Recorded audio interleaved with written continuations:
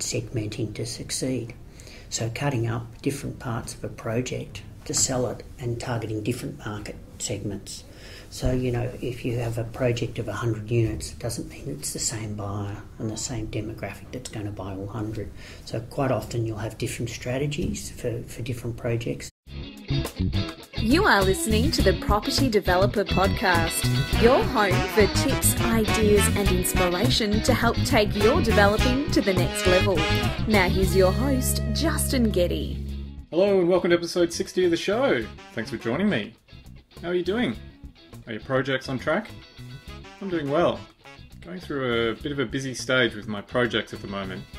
We've just launched a sales campaign for one of my developments, so I've been very busy getting some presentation and marketing collateral finished off.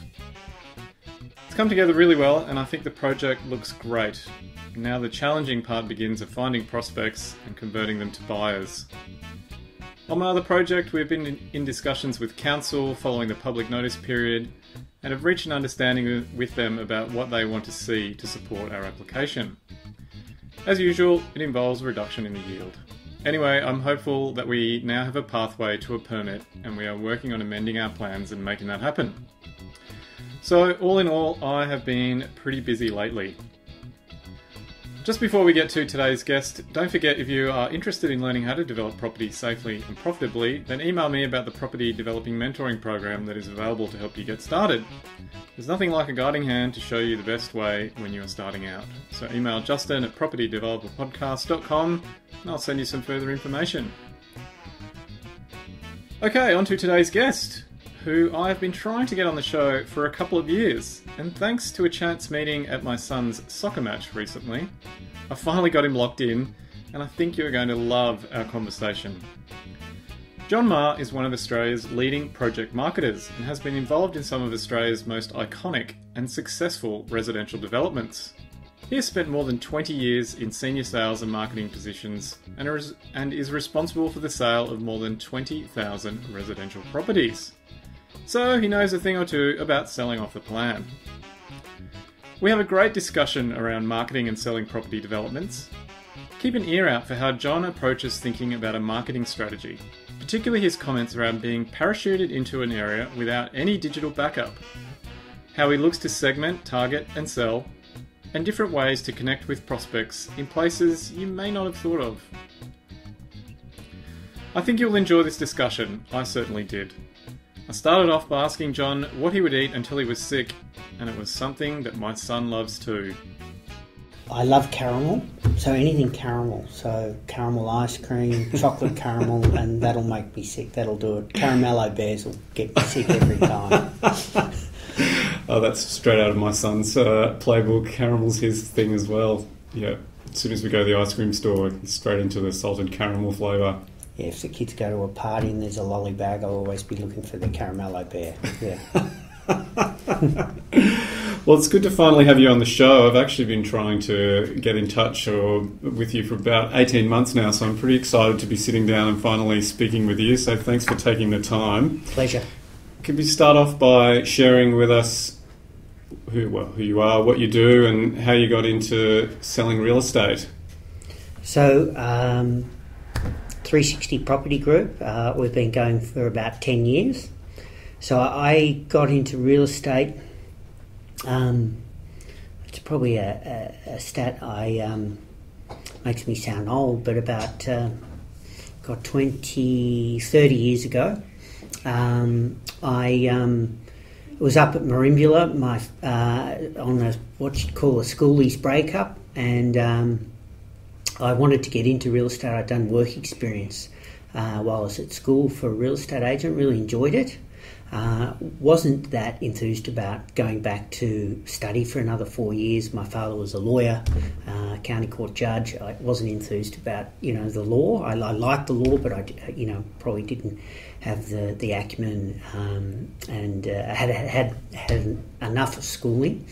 So um, I was away, and Dad called me, and he bumped into a guy called Russell Leggo, who had a big business then called Stockdale Leggo, and he said there was a job going in Melbourne, and to get back. So I drove back and um, Dad gave me one of his old suits, and I went to the tailor and uh, I had it cut down, and um, I had a, a, pair of his old slip-ons, and uh, put together a resume. And there was about fifty pimple-faced kids like me in this waiting room in Glenhuntly, and I got down to the final two, and um, eventually I missed out on the job. But they offered me a job in in Malvern to start the property management business and I was really lucky to, really fortunate to have good people to mentor me in those days. I had um, obviously Russell Leggo. I had a chap by the name of Peter Rigetti, who was an amazing guy.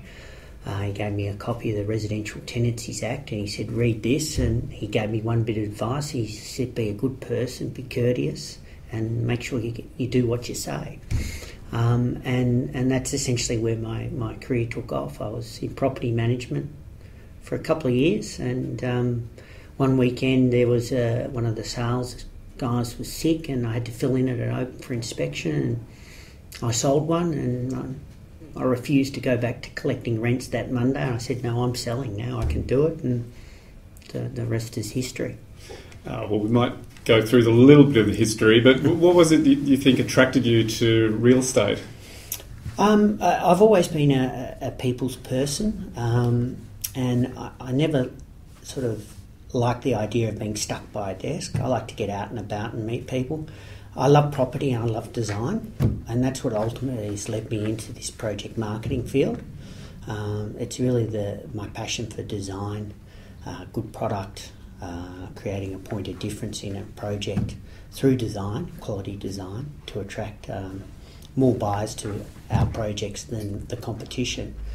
So it's um, you know I've always loved beautiful homes um, and beautiful architecture, and it's, it's, a huge passion of mine. How did you get that first sale across the line? It was interesting. It, it, listen, I, it was in the uh, in the late '80s when the market was absolutely booming, and um, interest rates were about 22 percent. So. Um, people were buying real estate on long settlements of 120 days, and and selling it as soon as they settled and making money It was going up that quickly here in Melbourne. And um, I had a guy, he came in and within five minutes he wrote me out a cheque um, and signed a contract. He, he firstly said, I'm buying this. And, you know, he was out to buy three properties that day. So it was a, was a lucky sale. You're thinking, I don't mind this real estate yeah, game. I thought it was pretty easy until the market went bust, and you know the the uh, it went sideways, and you know there was. Uh, what we used to call back in those days Jewish stock takes, where there was development sites that were purchased and buildings burnt down to get insurance, and um, you know the properties just sat around for months, and you felt more like a cleaner, you know, uh, dusting them off rather than a, a sales agent. Um, but you know, it, it, was it was a really good um, process to go through because it really, from the outset, it, it toughened you up. You, you, had to think outside the square. You had to really work hard with the uh, with the buyers, develop great relationships with the buyers, and a high level of trust with the, the vendors to get get the two together. And can you just give us a bit of a potted history from of your real estate career up into 360 Property Group? Yeah, so um, I um, I worked um, for a business called Kay and Burton, uh, so Stockdale Leggo uh, property management into sales. They were in Malvern. I wanted to get into that premium end of the market. Uh, I was offered a role at Kay and Burton.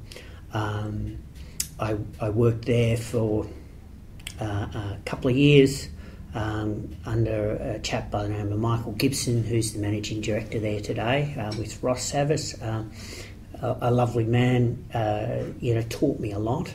Uh, he's a really a doyen of the industry, uh, along with Gerald Delaney. Um, and those guys are still hard at it today and still doing as well today as they did back then. And they had a, a huge passion. They were great with people, um, and they were great with the art of sales. So um, you know, learned a lot from those guys. I I then had uh, not pressure, but um, I wanted ultimately to run my own business, um, and my father was always saying to me, "You've got to go and get your qualification." So I went back to school and uh, studied and got my full license. And while I was doing that, I got offered um, a two-week job um, part time on weekends, uh, helping a, a, family friend who was developing a building in the city called Gordon Place, and um, that was one of the first inner city apartment buildings. And I, my role was to basically escort the agents through the building. Um, it was a the, the, building had a central atrium and it was a sort of hotel complex, and we were selling hotel rooms, service departments and there wasn't a lot of security. So I was staying there on weekends while the customers coming through and assisting the agents. And the the project was so popular that there was huge crowds of people. So to keep them entertained, I'd run off to the cake shop and buy cakes, and while the agents were doing these tours one on one, and then I soon sort of got to a point where I thought, hang on, there's a better way of doing this. Why don't I do some group tours? So I'd take ten at a time, and I'd take them around the various apartments with a bunch of sold stickers in my back pocket, and people would buy one, and I'd close the door and put a sold sticker on it, and, and that'd create a sense of urgency, you know. So it was all about, you know, developing my sales skills in, in terms of project marketing, and um, and I was offered a job, and because I'd committed to my father for finishing my studies, I said I could only work weekends, which really uh, was one of the best jobs I ever had because I was getting paid I think 500 bucks a sale. Um, and I'd m- make one or two sales every weekend, and I got to live down the coast and study at the Gordon in Geelong. So I got to surf and study during the week and make a couple of sales on the weekend. It was great. Um, if it wasn't for my wife and four kids, I'd probably be doing the same thing today. Um, I always leave the, the, family, the kid thing, uh, stories to the side, John, so we don't get sidetracked. I always said when I look back on photos when I had lots of hair, it's like that was before I got married and had kids. That's right. That's right. I can obviously say the same thing to you. Yes. Yes, definitely. and so then, what happened from there? Um, so the that business I was working for, as soon as I finished my course, they offered me a full time role, and I, um, after about twelve months, I was made a director. And that was Hume Real Estate, and they were one of the first pure project marketers in Melbourne, and that was a really exciting journey for me because we were doing something completely different to the the standard domestic residential real estate agent. We were selling off the plan. We were doing buildings like the original Como building. Uh, in South Yarra, we were doing all the towers on St Kilda Road. We were doing a lot of work for Becton back then, Max Beck and Michael Buxton, who's now MAB Corporation. Uh, we were doing all their work at Jolimont Rail Yards, um, a lot of projects in South Yarra and Toorak. Um, and, and that the learning curve there was immense. Um, after sort of 12 months in that position, uh, you know, I, uh, it was for me. It was like a, a duck to water. I really was uh, engaged in the role and, and really um, loved doing what I was doing. I was made a director, and I ran the sales team there. And uh, eventually, um, Barry Shepherd um, and Maurice Pittard, who started the business, um, went their separate ways and decided to uh, uh, sell the business. They sold it back to Kay and Burton. Um, and I didn't want to go back to Kay and Burton, and I was offered a role with Mirvac when Mirvac first came to Melbourne. So I started on their first project in Melbourne, which was Beacon Cove. So worked at uh, Beacon Cove um, for a number of years. Um, that was a pretty big project, wasn't it? Yeah, big project, big project, and how many um, units was in that oh, master it's, plan? It's, we're sort of still going today, yeah. you know. So there was and while we were there, we sold three or four uh, high-rise apartment buildings, but uh, you know, hundreds of homes. Yeah. Um, and it was one of the largest uh, inner urban developments of its time, and it's it's still been a very successful development, both for the Mirvac and the purchasers themselves. There's been some great capital growth there, so we were involved in that. Um, so I worked for Mirvac for three years, and then um, I was offered a partnership in a, would you believe it or not, a surfing business. And so, uh, to my father's disgust, I followed my, my passion and I moved up to Sydney and I had a warehouse up there and I was manufacturing surfing, surf life saving equipment and selling it uh, yeah, I had two partners down here in uh, Melbourne in Torquay, and it was a lot of fun, but a financial disaster. and uh, I had um, uh, during that, towards the end of that process, as the business was going south, I had Colliers uh, sort of knocking at the factory door saying, "Listen, we hear you're, you're the uh, great project marketer. We want to start a project marketing division.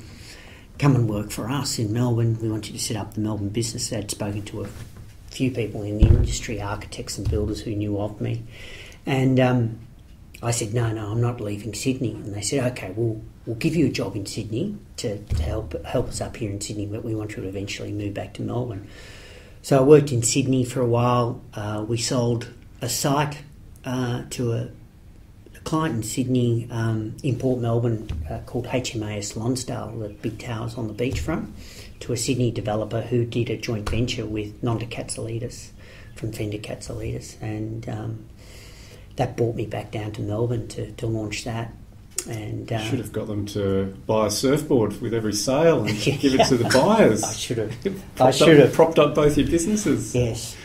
but uh, so so in that process, um, we had a, a, PR company engaged, and uh, we had a, a, launch function at another project I picked up here in Melbourne on Queens Road, and um, uh, it was a freezing night in winter, and uh, there was a, a beautiful looking lady young girl out the front who was working for the PR agency, you know, in the cold. And, you know, after the sort of the night had finished, I walked out there, gave him a jacket and invited her out for dinner. And, you know, uh, 20 plus years later, we've got four kids and I'm still here in Melbourne. So that's how I met my wife and came back to Melbourne. And um, uh, my project marketing career really took off because I had her support. Interesting. Well, there's a lot that I'd like to ask you. and there's a lot of other uh, bits in between. So I, I, worked for Colliers for nine years. Started their project marketing business here in Melbourne. Uh, I was a national director there, so I oversaw the uh, Brisbane office um, and the Gold Coast office. Uh, we had um, the guys around Sydney, I'd occasionally go up there, but they um, I reported into those guys who now run CBRE, Justin Brown, who's a, a great mate and uh, a doyen of the industry, um, and uh, had a great time at. Um, at Colliers, learnt a lot, had great support there, uh, but always wanted to run my own business. Um, and, um, you know, got to a point where I I uh, was during the GFC. I had a, a, a lot of clients that um, I'd done work for, including Becton and, and Australand, that uh, were in trouble and uh, wanted my help. And um, so I stepped out on my own and started 360, and uh, they're still my clients today. So. Um, you know, I had a had an original business plan of um, selling 450 apartments in the first 12 months and was working out of um, a very modest display suite uh, that um, we were about to launch for uh, the builder's Icon Construction. We're doing a development in South Yarra, and um, we were in there temporarily until they got their permit. And um, they got their permit really quickly, so we had to move offices, and we moved to South Melbourne. Um, launched their project and launched a number of others, and uh, by the end of the first 12 months, you know, we hoping to sell 450 apartments. We sold 1,300, and we had eight staff, and the business started to grow.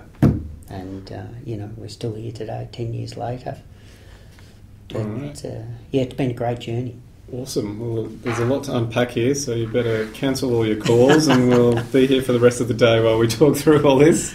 Uh, you, you mentioned how you started selling off the plan in the early days back in Melbourne. What what was different back then about selling off the plan? As you said, it was new to Melbourne. What was it that was different, or that you had to do differently back then? And then following on from that, what is different today from what you were doing back then in terms of off the plan selling? Yeah, good question. So when the the off the plan uh, sales phenomenon started in Melbourne. It was a byproduct uh, of the commercial office boom. we'd just been through a commercial office boom in the late 80s where we had a lot of premium office buildings, A grade and office buildings built along the areas of St Kilda Road and the CBD. And when the market came off, uh, there was a lot of redundant office buildings sitting around that no one wanted to tenant. So uh, a few savvy developers like Hudson Conway, um, who did number one uh, Albert Road, was one of the first buildings in Melbourne. Um, Becton uh, bought these old buildings, that was the old police headquarters at the time, and basically converted them into apartments. So it was very different back then where you'd have an existing building and you could point to it, you could walk through it, you could show them the views. But the perception was, how are you going to change this old office building in here with old lifts into this sparkling new apartment building? Um, it's not like today where you, you start with a clean slate uh, in most cases and, and you, are showing beautiful renders and everything else and saying this is what it's going to look like.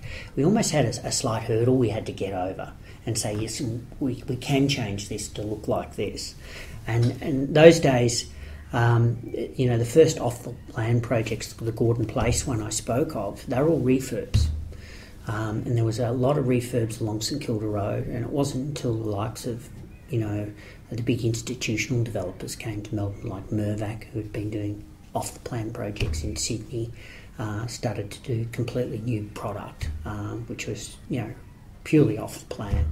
Um, and in those days, uh, and still today, they were doing big, elaborate display suites. Um, the technology and the marketing has all changed, um, but the, the fundamentals of trying to replicate the premium product and sell down from that uh, is still where, where we're at today in a lot of these projects.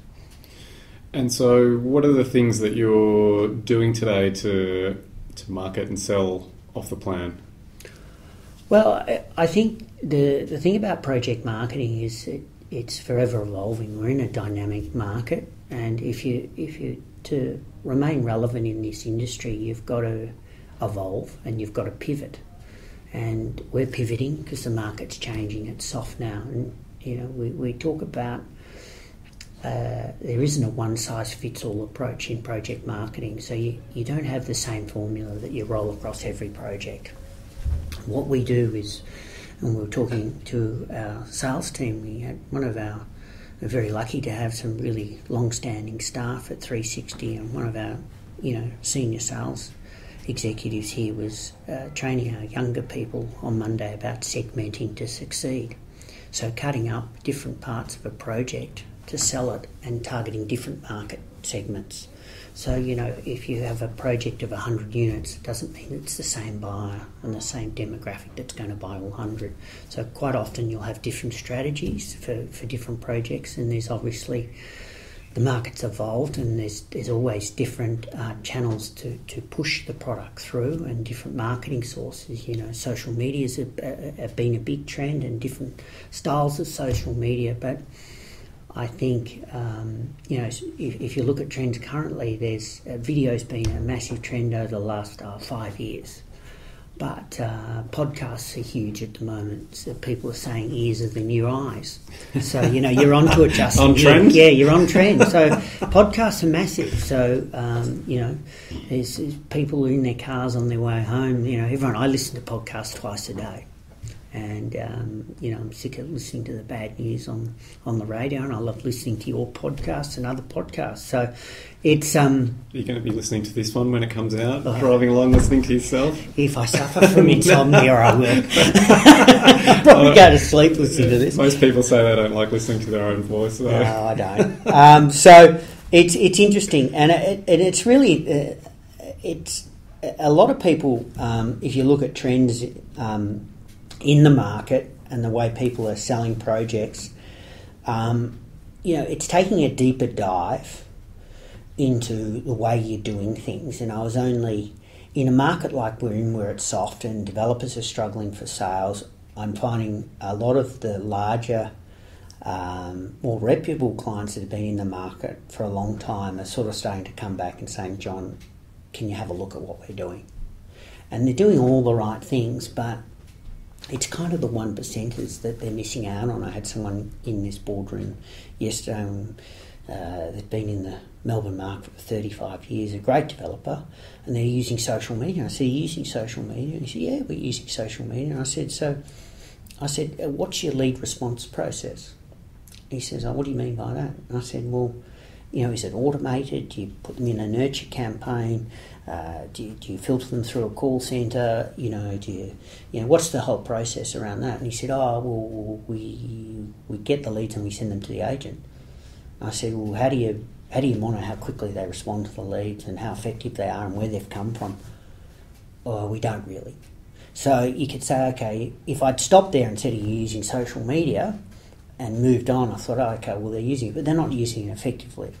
So, you know, you, you hear all these real estate coaches and everyone sort of touting the same phrase speed is the new currency, you know, everyone wants stuff now. So, you know, with social media, we find that um, rather than disengaging our sales team with l- huge volumes of low quality leads, we'll put someone in between them, like a contact centre based here locally, that will qualify the customers and get onto them immediately and be available at their time when they're shopping. So, you know, I I think you've got to respect what your staff are good at and employ good people to do good things and the right jobs. And you don't want to have your salespeople working after hours, uh, ringing back social media leads at you know nine, ten o'clock at night while people are on their phones during ad breaks on TV, um, creating issues on the home front where you can employ someone that's more professional and more targeted at that role to get a better result, and then qualifying those leads, passing them on to the the professional sales team who know how to sell off the plan, know how to engage the customer at an appointment, and know how to get a sale. So that's the, the detail is where we're at now. Yes, I've um, heard you talking about one percenters on some of your 360 property group social channels, which I Mm. thought was really good. And I agree that when it gets soft, you do really need to focus on the one percenters. My question is we're, we're coming off a really heated period in the market where it was pretty straightforward to pick up off the plan sales. And so, do you think people have gotten uh, not lazy, but did people just get used to it being easy and they've forgotten how you used to have to sell off the plan? Or are we in a completely new dynamic now where the market has shifted so much and you really just need to have new approaches to how you're selling off the plan? Uh, good question. Uh, yeah, it's a completely different market, and you do need a different approach. And it's um, you know you you have to have a deeper understanding of the market, and you know we've got to be more selective in terms of the projects we take on, the reputations of the developer. Um, so and understanding the market to be able to produce the right product that'll sell itself. And that's the thing. It's in in a strong market. Um, you know, you it'll cover all your sins and all your faults. But in a soft market, you can't hide anywhere. You've you've got to have the right product. You've got to have the right people, and you've got to have the right process to get the projects away. And for us, it's about working with the right developers um, that have a good reputation that people can leverage off, have a strong story behind the development, have a unique point of difference, um, and um, a- a- agile enough to adapt and change to the market quickly. You know, we don't want to work for uh, developers that are, have, have large layers of management where it takes months to make a decision and turn the ship around. You know, in a market like this, because it's evolving so quickly and there's so many different dynamics at play, you know, we've got to work um, directly with the principals and they've got to be involved in every deal and be passionate about it. And they'll be successful in this market, and they're the ones that we're working with now, and we're, we're getting the sales away. Can you give me a bit more detail around what that looks like when you say we want to be involved in the design to ensure that it's the right product for the right market? How do you determine what the right product is? Like something that's you're looking at now, how would you say it needs to be different to something that was you know, two years ago? Is it the size? Is it the finished spec? Is it the location? It's a little bit of column A and column B? Yeah, it it, it depends.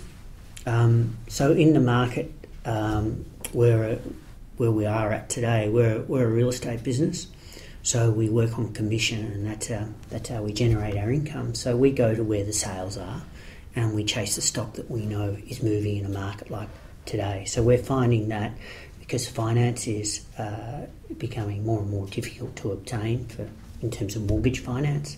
Uh, we're, we're finding that one of the strongest market segments is the downsizers who are cashed up and have a less reliance on mortgage finance. And they tend to be chasing sort of the more premium and larger projects, uh, larger apartments rather, um, in the suburban areas of Melbourne and um, Sydney uh, and uh, Brisbane. So, you know, Noosa, for example, that's a downsizer project we're doing at the moment. So we're looking at that sort of stock. Um, and you know there's less volume, uh, but there's more activity in that market. So we're doing uh, a larger number of smaller projects, uh, which require more manpower and more focus, um, and there's a higher level of uh, understanding involved in terms of uh, designing the product that will uh, attract that particular market for that particular area.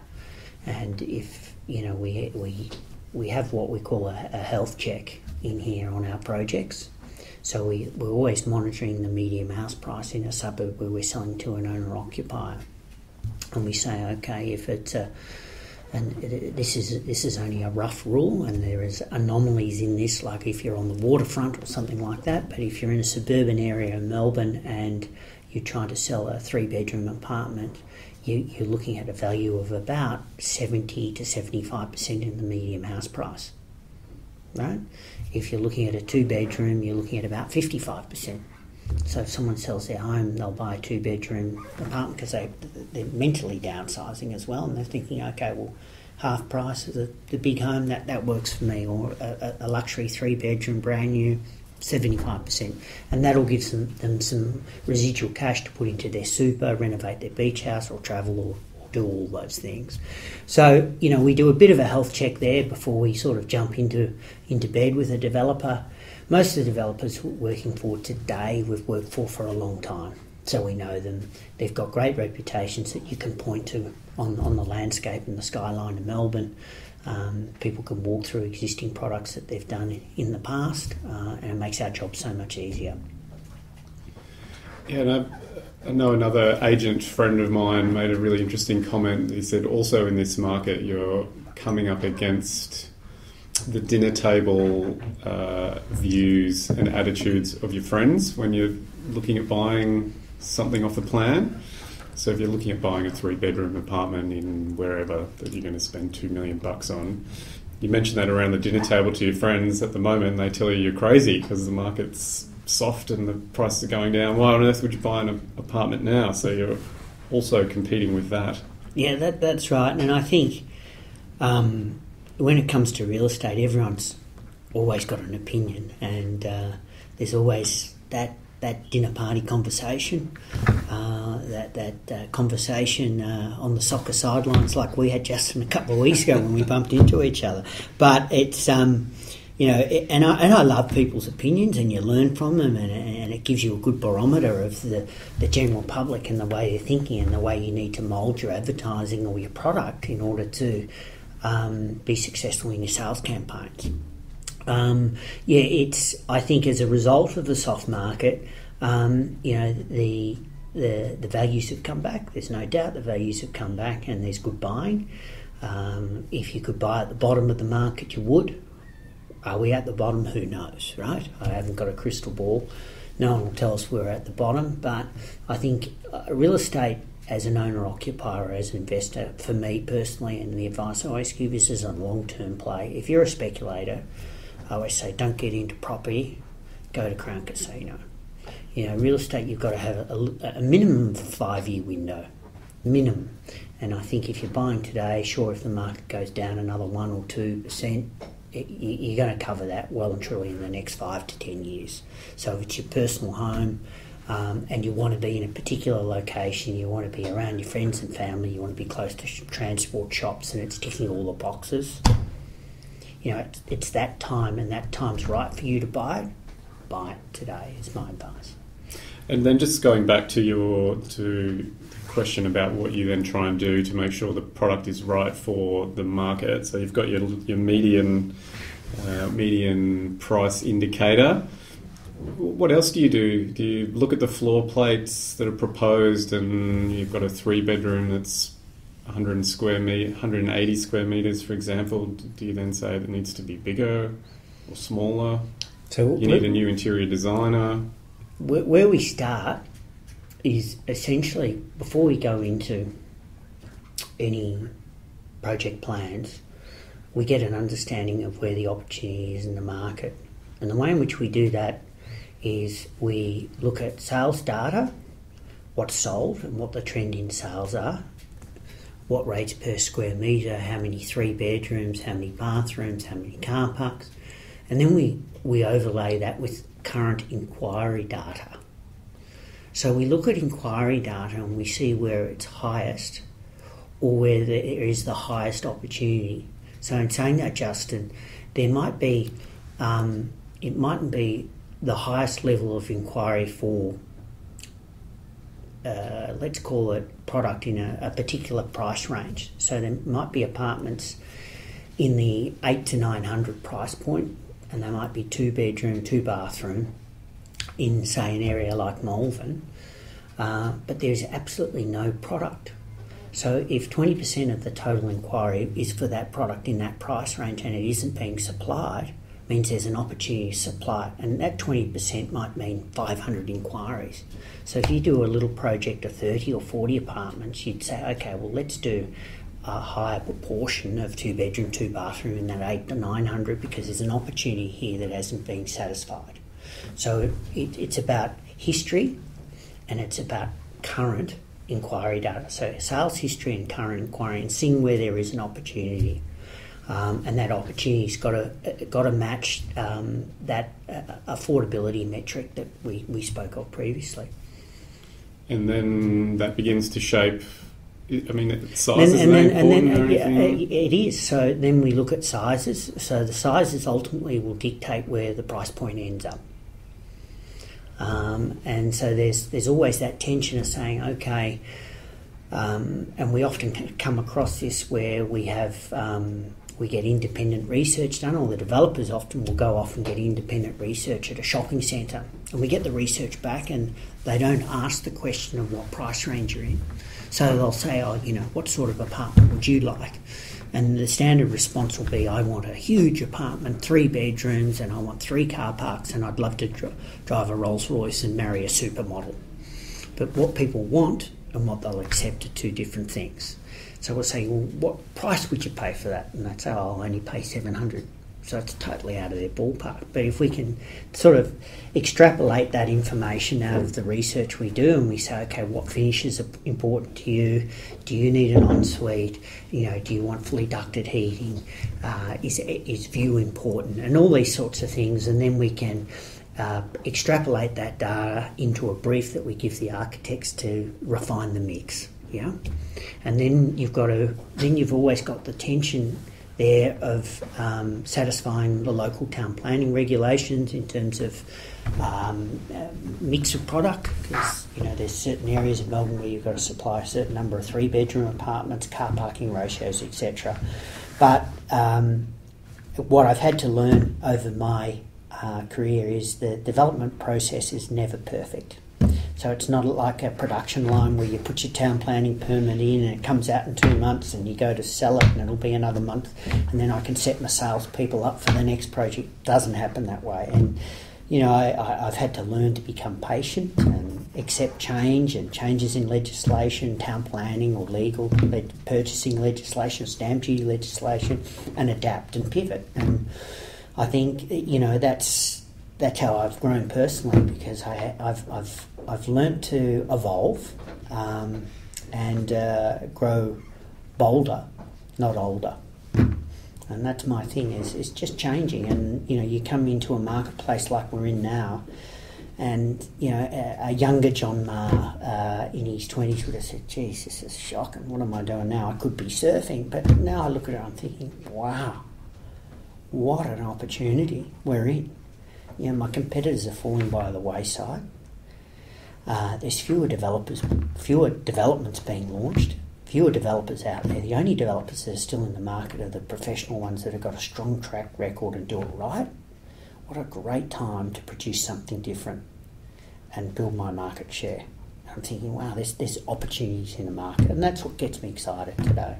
So, when you talk about going bolder, what what things are you doing now that you think this is pretty bold? I'm, I'm putting it out there. Yeah, well, I, I suppose in you know it, today's discussion is probably an example of that. Um, you know, I, in my younger days, I, didn't have the confidence and I was reserved. I, I, wouldn't want to have these sort of discussions publicly.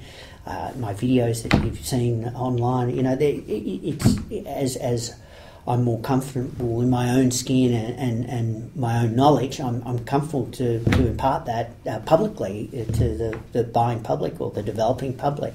Um, I often say to many of my guests, they've definitely got the look for podcasting. well, I certainly have. Thank you, Justin. yeah, you're not coming back. I know. No, I think you're actually you do really well on your um, social media channels. Your, the videos you do on Insta actually provide quite a bit of value. So I, think you're selling yourself short a little bit there. So yeah, we, we, that's what we're about. So you know, in this um, business, we're about um, it, it's not always about, uh, for us, success is, is, is not measured by, um, it's not measured by the, our balance sheet, it's often measured by the growth of our employees and ourselves and the success of, of our customers. Um, because you know what goes around comes around in this business, and if you're putting in the effort, and it's a tough market, you know when you come at the back of a tough market, you know you're going to be in a in a tremendous position, and you know it's it's putting yourself in these tough situations where you are forced into evolving, you're forced into change, and looking at opportunities is where you grow the most personally and as a business. Yeah, I often say to people who email me or when I'm talking to other people about the challenges that you face and there always are in developing. You just have to learn to and try to embrace them. It's the only it's the only way to kind of get through it, I think. And and it's it's been interesting as a business. You know, over the ten years, we've we've seen that.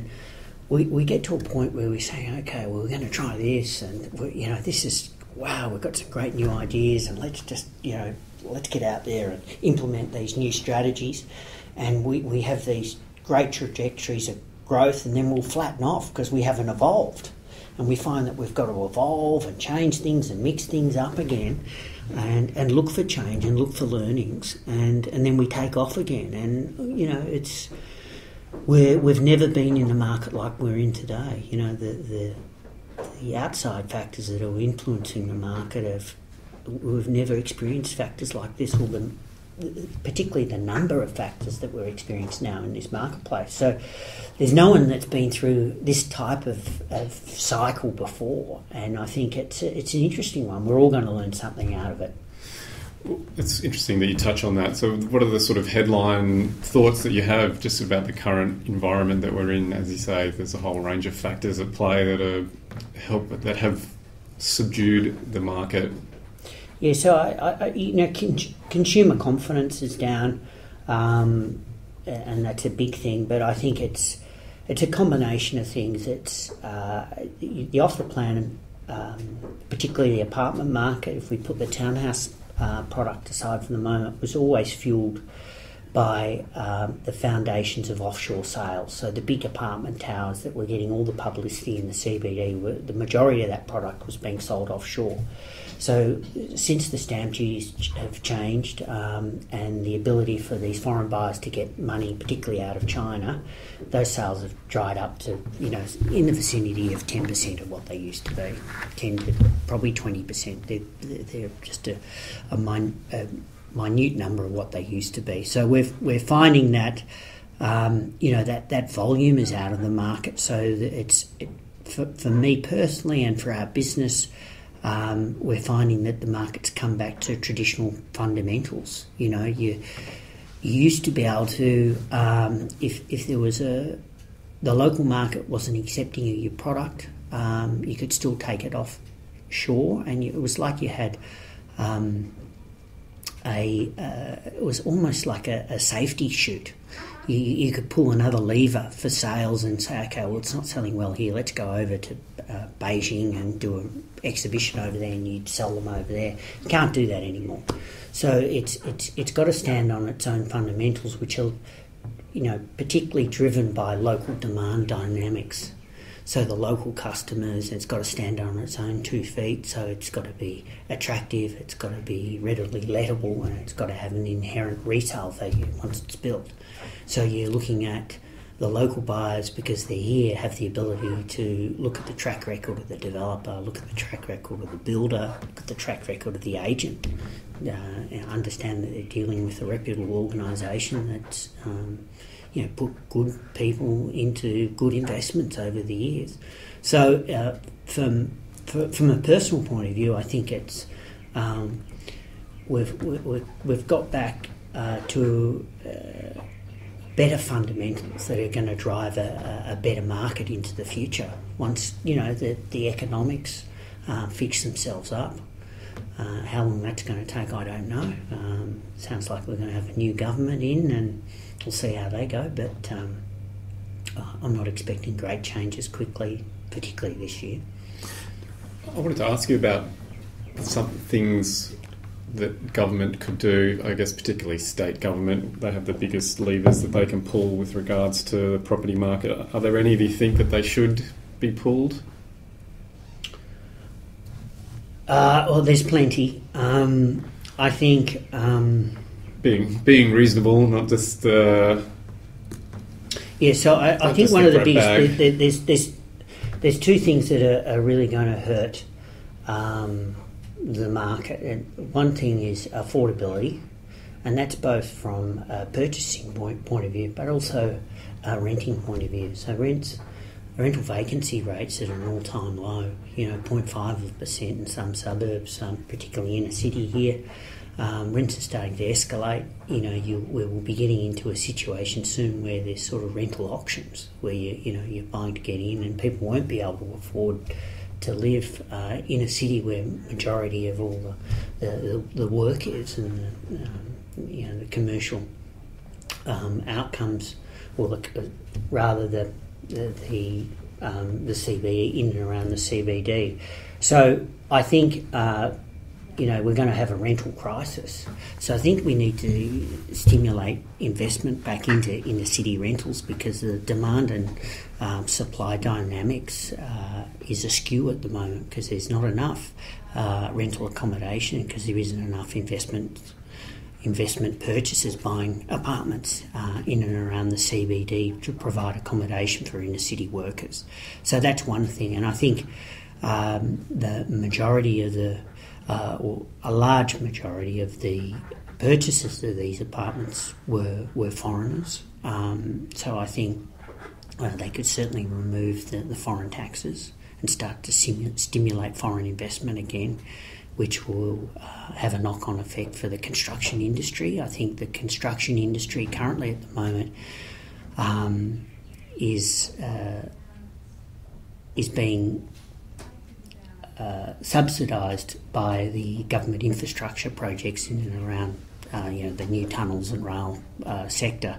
And I think once that work sort of slowly uh, starts to tear off, you know we're going to have some big issues in that sector. And I think we're going to have to the government needs to be a little bit more forward thinking and, and start to prepare for that. And I think, you know, the, the housing sector and the construction industry is the backbone of our economy economy here in Victoria. And I think, you know, we need to look at getting investors back into the into the market and stimulating the housing sector. So that's one thing. I think we could um, we need to we need to do more for first home buyers. And I think, you know, it's, it's, it's it's getting harder and harder for them to get into the market. They're getting pushed further and further out uh, onto the suburban ring, which is costing the government more and more money to extend infrastructure out into the, this suburban fringe. And I think by offering larger subsidies to um, first home buyers, particularly for inner city apartments, will help maintain the costs of that suburban sprawl and push people up in the CBD rather than out.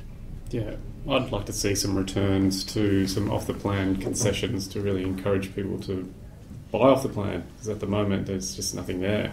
Yeah, the stamp duty concessions and all those things. So, you know, that's just put a screaming halt on investment in Yeah. off the plan. Yeah. Hmm. All right, let's turn a little bit to tactical stuff. Are there any go to tactical activities that you're going to use in a campaign, or what advice do you have for must haves? The the one place where we always start uh, before we do anything on a new project, uh, we have a project team meeting internally, and um, it, I sort of like to use the analogy like uh, they're special ops uh, salespeople, and I say, okay, if imagine if I threw you into the forest, and we'll call that forest uh, Hampton, for example, and you had no weapons. So you had to go and capture some sales, and you had no real estate.coms in your in your artillery bag. You had no domains. You had no social media. You had to get into a certain suburb, and you have to infiltrate those suburbs and find the buyers. How would you do it? So that's where we start with all our projects. We call it a market infiltration strategy. So we, we, we look at community groups, uh, we look at influencers, um, and we develop relationships with those to get those low hanging sales and establish uh, sales in the, in the local neighbourhood. So if we can't establish sales in that local neighbourhood, the product's wrong. And that's generally where we'll do a lot of testing with our, our product up front before we go to a more mainstream campaign. So, you know, things like uh, engaging the local Retail Traders Association and having some exclusive events for them. So, if we can engage them, uh, get them involved in the project, uh, they speak highly of the product because they were involved in helping giving us some feedback in terms of what that community likes and how they they behave locally and what the idiosyncrasies are of that community. Um, you know, we, we want to engage them. There there might be certain community groups, large community groups in certain areas, and if uh, we we stick to Hampton for a moment, the Sandringham Yacht Club. It's got a lot of members. So understanding them, their their demographic, their age, and the opportunities there, and trying to infiltrate that community, and uh, you know get some sales out of that that, that that community group. So we go in and we understand the community, create some relationships, and try and get some early sales first, and then see if there's any trends in those sales. So then we can leverage off those trends. So if there's trends from a particular group that behave in a particular way or have a particular profession, then we can, uh, you know, adapt our marketing strategy around that group to get a lower cost of sale for our developer clients. So that's where we start, and then what we do is we we build, um, we get better intelligence on our, our, our target market, who you know, we've done that anecdotal research about who, who the market is, but then that sort of helps confirm our assumptions. And then we will fine tune, like we, we, spoke about social media before, you know, we build look-alike audience based on the behaviours of these people rather than just sort of spray and play sort of marketing where you, know, you can spend hundreds of thousands of your developers' funds and, you know, get low quality leads. So we're about uh, quality, not quantity. So we can produce a lower cost per sale because we want more money to be invested into the project and the end product rather than into the marketing campaign. Okay. And I know in your video, social media videos, you've talked about one percenters. I think uh, one of them you talked about having a play area for kids, while so the at the display suite or the open, so that the parents could be focused on the sales conversation and not have to worry about the kids, That's right, yeah. which I liked. I thought that was really good. Yeah. Are there any others that you can share with us? Uh, listen, there's, it, it, there isn't one, Yeah. and it's for us. It's all about um, making the most of every opportunity. So, you know, one of the things we do as a business is, um, if you, and you may have not noticed this, but if you go into a 360 uh, display suite where we're representing um, one of our fabulous clients, you'll always notice the same scent. Uh, we have our own 360 candles. So, you know, it's it, Is it's Essence de Mar? I wish, I wish, but it's it, it's really uh, making um, you know uh, attracting all those senses. So you know we look at smell, um, we uh, we look at sound, and having music playing in the background, and we look at light. So you know, simple things that drive me crazy. If I uh, wander into a display and they, you know, there's a, a, bedroom set up and they don't have the bedside lamps on to create that mood, drives me crazy. Or we don't have the, the, the, the appropriate music playing for the appropriate target market. And I see a lot of domestic agents doing this well, where they have playlists for different style of homes for different target markets, and you know we've been doing that for a number of years, and it works really well. So they're just one percenters. Um, you know, uh, selling large apartments using large floor plans because perception's reality. So if you know, I go into display suites where they'll hand you an A4 piece of paper trying to sell you a 200 square metre penthouse, and I'm like, jeepers. That looks tiny. Is that tiny? Oh no, no, it's just the piece of paper that's tiny. I'm like, well, why would you do that? So it, it's it's about one percenters. It's about having that customer journey figured out. So okay, what's the first thing you want the customer to see when they walk into that display centre or, or they, they arrive at that display centre and how you want them to travel through and experience that space is really important to us. So, you know, there, there is a simple process of, of, of telling the story um, that makes it simple for the customer to be able to logically understand what's going on in order to make the sale. Uh, it's interesting that you talk up or that you've mentioned the idea of telling a story because that's something that keeps coming up on my show. What's when you talk about telling a story? What are the components, or what does that look like to you? I, I think you know it's. I've just come from a meeting, uh, a project workshop with marketing people and architects, and you know the one thing I always ask the architects is, well, what's the story behind this? You know, why? What did you see in this site? Why did you develop it this way? What was the inspiration behind the facade or the lobby or the spaces you've created? And I think um, to to be a good real estate agent, to be a good project marketer, to be a good developer, to be a good architect, you've got to be able to tell a great story and develop a great story. And for me, it's so important. And you know, if we don't have a story behind a development and we're just doing it because it's a homogenous product, we're not doing it. Because we've got to have a distinct point of difference in every project we develop in conjunction with our developer clients um, and project market to create a real point of difference to them. And if you know, we see a lot of developers coming through these doors and they don't have a story and they have a more homogenous product and they're the ones that we knock back. Because to get true traction you've got to have a compelling story behind your development and it's, it's critical absolutely critical. And so what was the kind of response you were looking from the architect or how do you then tease something out of them to find what would be the, ne- the nub of a story? Well the, the, the first thing um, it was uh, the, the, question I asked the architect today was, in fact, Fender Katsalidis. So I, I said to them, "What was your reaction when you first saw the site? You know, how did you feel? What opportunity did you see?" And that's that's where it all starts, you know.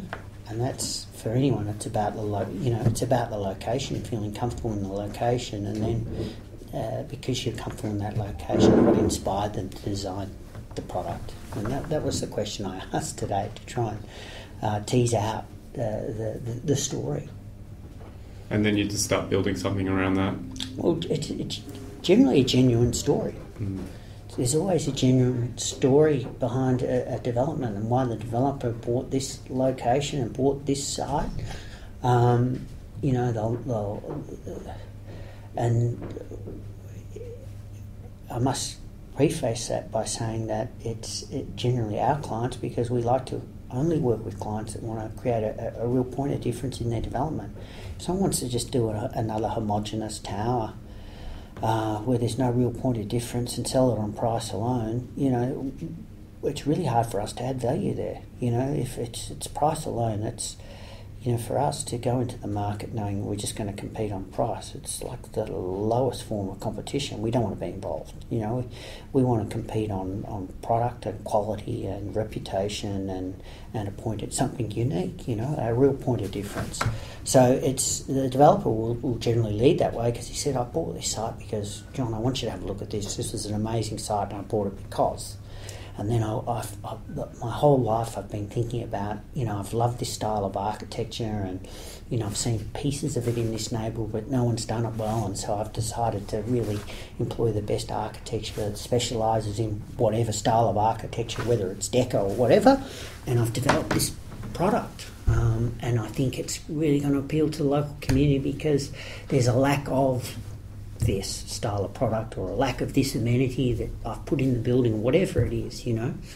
Um, and we've worked with some amazing developers, like, um, and, and, we're very, very lucky, and, and I feel very fortunate to, to work alongside the clients that we are. And you know, when I first started my career, I never thought I'd end up in this position. I, you know, and, and I'm so fortunate to work with, you know, the big institutional clients we've got and the, and, and the large privates and small privates.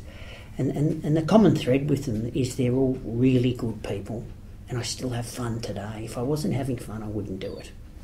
And if I'm not having fun, I don't want to work with people. You know, we're too old and silly for that now. And it's, you know, if we're working with the right clients and we're working to create something purely unique and striking that gets great traction in the market and, and we deliver a quality outcome, you know, that's something I'm proud of and I can sort of point to on the skyline and say I was involved in that project. I wanted to ask about those developers that you've been involved with, the ones that you think are the quality, uh, the quality developers. What is it about them that you like, or that you admire, or that you think enables them to be successful and to stand out? Um, the first thing is that the the best developers I've worked with are the ones that are really hands on. So they're deeply involved in the process and they have a deep understanding of the marketplace.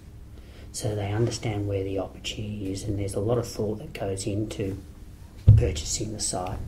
Um, and generally, they've got great relationships because of their personal involvement in the process. So they have long standing personal relationships with great consultants.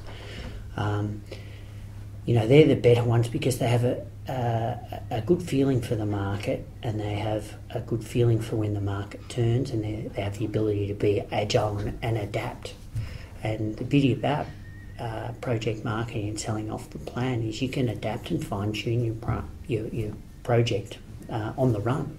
You know, during the sales process, you can amalgamate units, you can amend floor plates, uh, product mix, and, and everything else. So, um, the, the you know, being hands on is, is really important.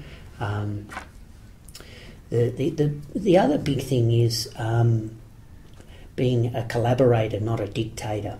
So we've had developers come in here and say, This is what we're going to do, here's a price list, and this is where you're going to sell from, and here's your ad schedule. And we're like, uh, This isn't going to work for us.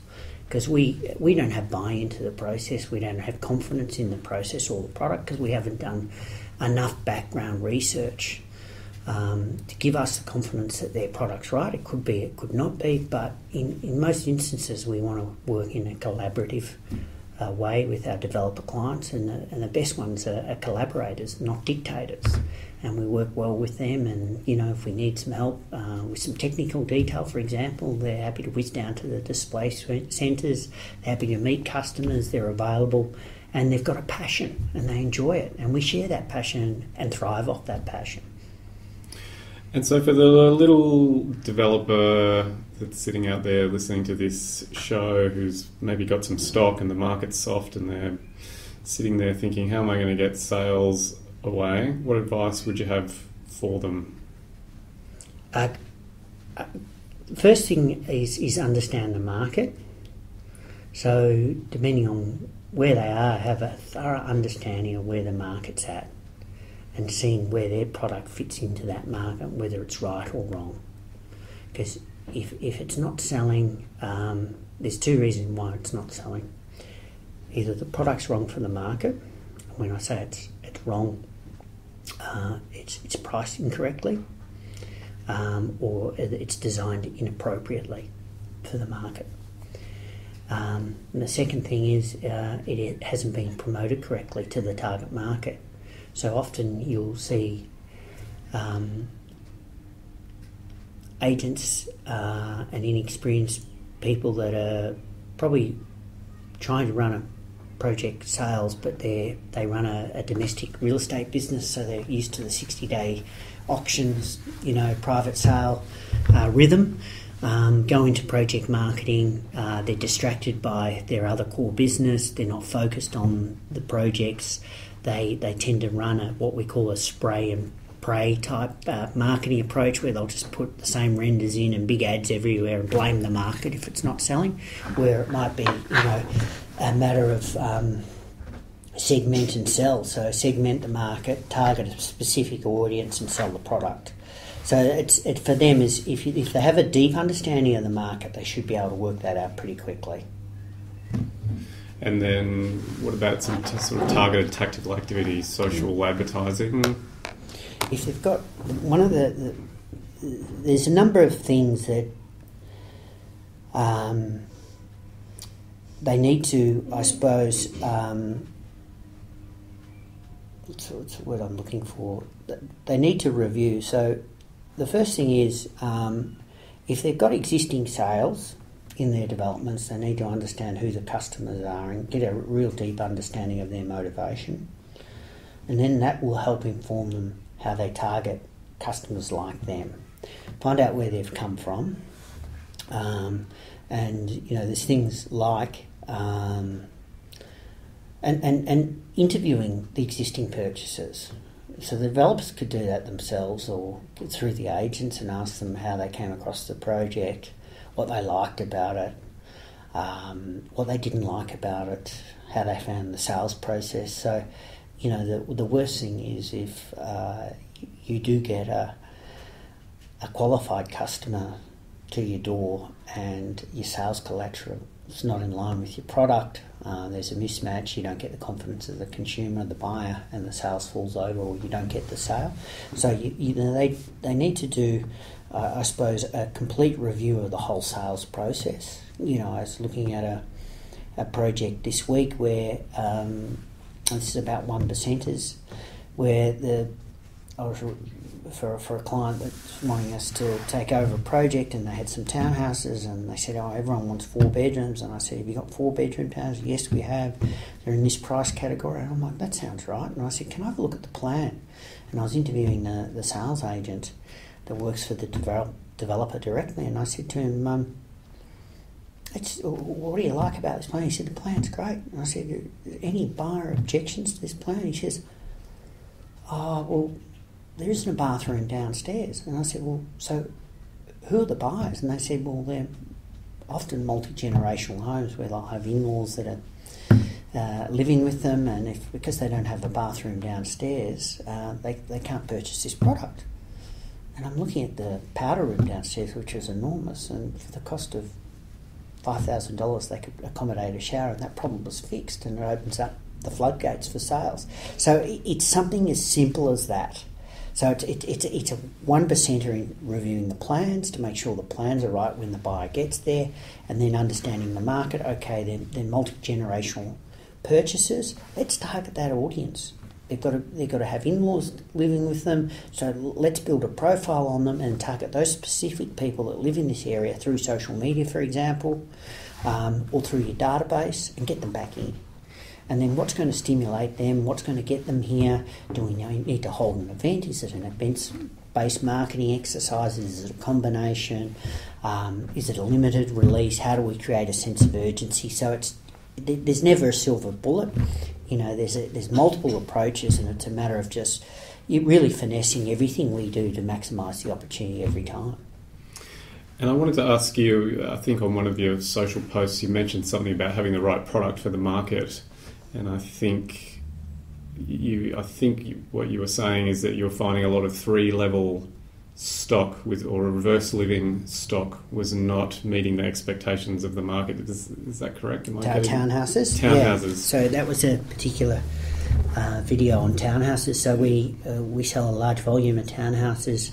Um, un- unless there is a distinct advantage to first floor living, like it opens up a, an ocean view or a park view or something.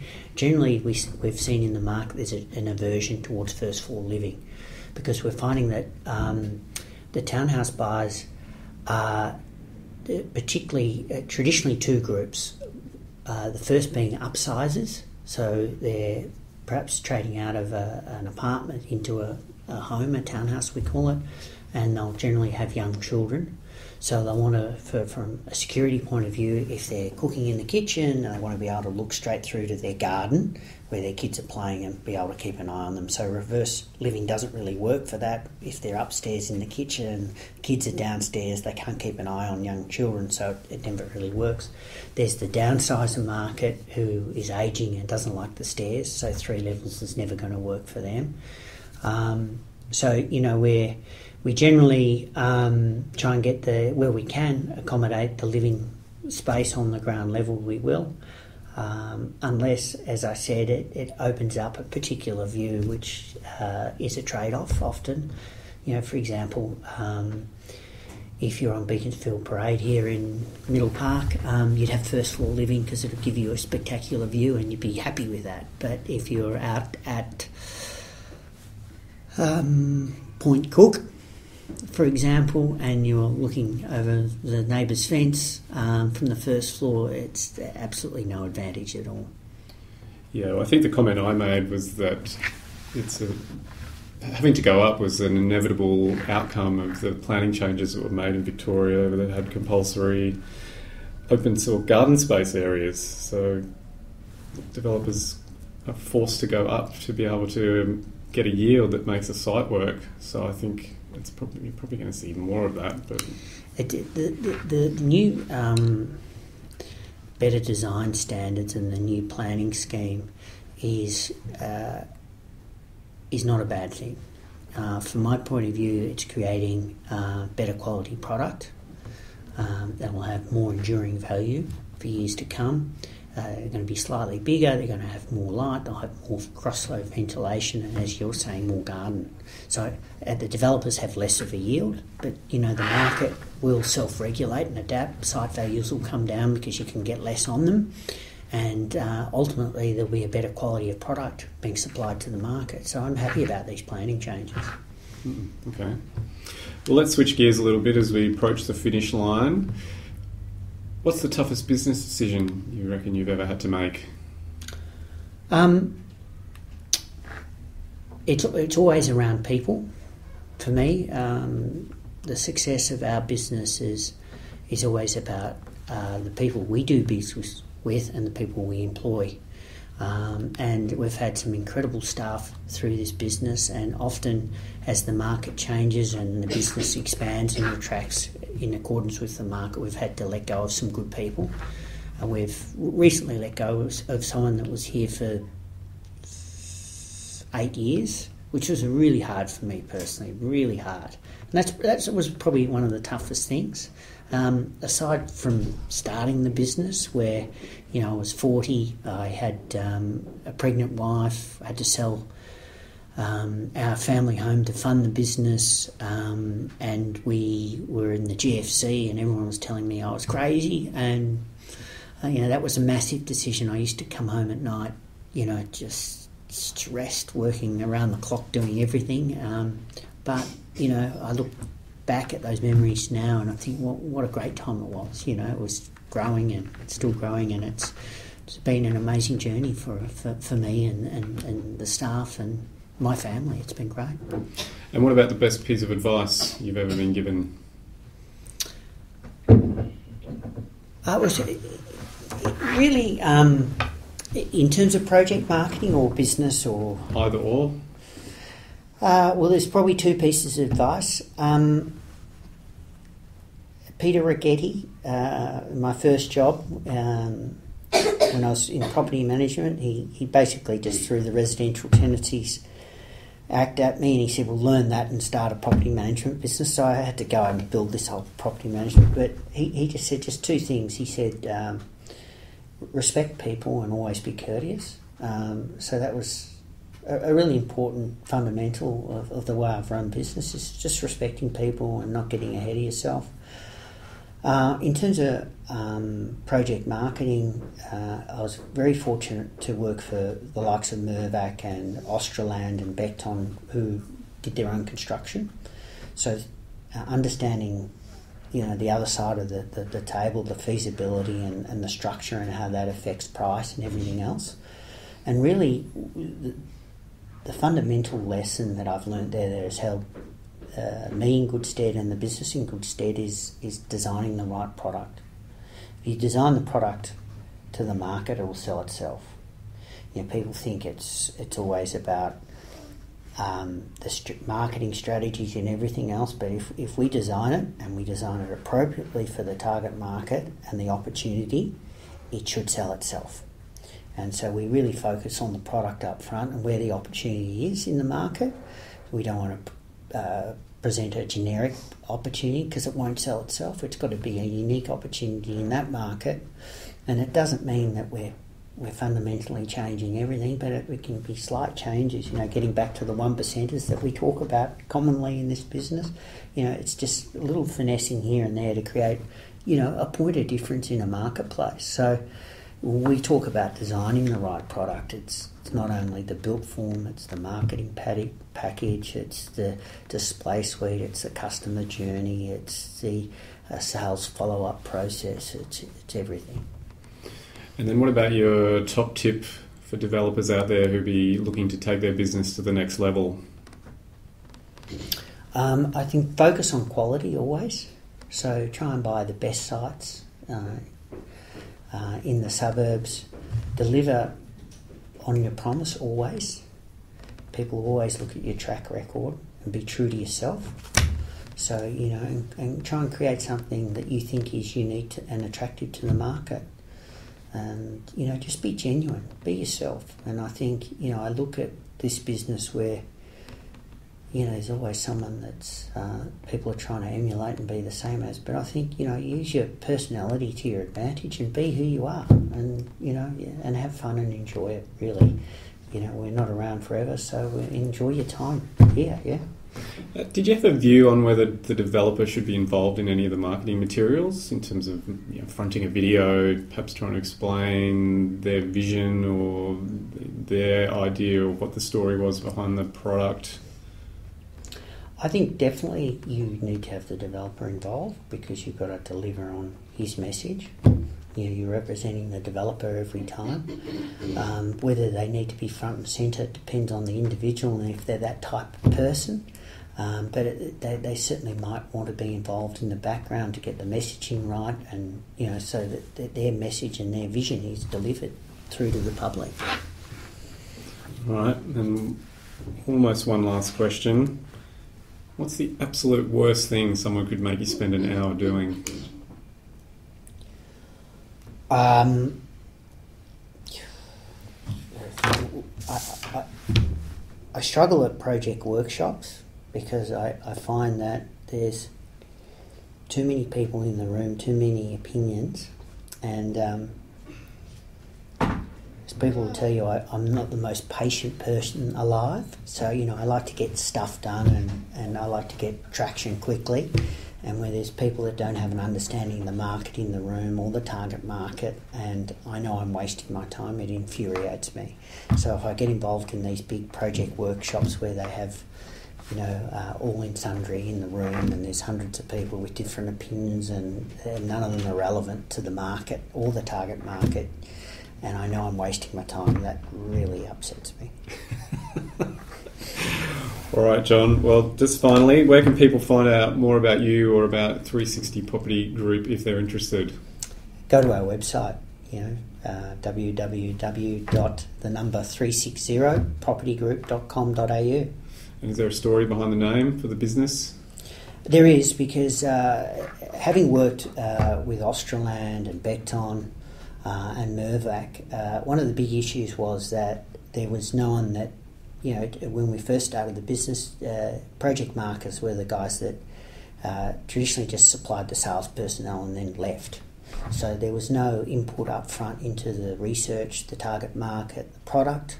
and then there was no one around at the end to help provide finance and settle the product and site acquisition for the next project going forward. So we want to provide that whole 360 circular service, hence the name. Oh, very good. Well, I have really enjoyed sitting here speaking with you today. I'm glad I finally got to be able to sit down and have some time with you. I'm really grateful to you for all the insights that you've shared, and you've been very open and provided some really interesting ideas and things to think about. So, thank you, John. Pleasure, Justin. Thanks for having me on the show. See you later. Bye. Okay, there you go. Some absolute solid gold bullion in that conversation about how you go about marketing and selling property developments. I really enjoyed my chat with John and took these points away with me. 1. Think beyond digital boundaries. I love John's comment about what would you do if you parachuted into an area with no digital backup and had to make some sales? What would you do? Who would you talk to? How would you start? This is a great way of thinking beyond portal listings or social media advertising to add some breadth to your marketing campaign. So give some thought to how you might market your developments without any digital channels. 2. Segment, target, and sell. This simple formula is all about understanding who are the likely buyers of your product. What are their motivations? Where are they hanging out before they look at your online listing? What are they looking for in their next property? I like John's suggestion of interviewing existing purchasers, if you have any, to see what they like or didn't like about your marketing materials or process. And how did they find your project? These are all great ways to find out who you should be targeting and what messages might resonate with them. 3. Develop a deep understanding of the market. How deeply do you understand the market you are selling in? Do you feel like you're on top of the trends and demands of buyers in the area? Is there a gap in what is being asked for and what is available? Can you make any connections with local community groups like trader associations or sporting clubs to help expand the reach of your message? You can use all this local intelligence to shape and form your product and project. And finally, John encouraged a relentless focus on quality, which I agree with. If you enjoyed the discussion around project marketing, then maybe go back to the awesome conversation I had with Andy Hoyne in episodes 47 and 48, where we talked about how you can get 200 people lining up to buy into your project. Andy had these gems of advice. Actually, here's the thing in a hot market, people get lazy. They just deliver product. There's a whole lot less care about, you know, what can we do that's going to be compelling.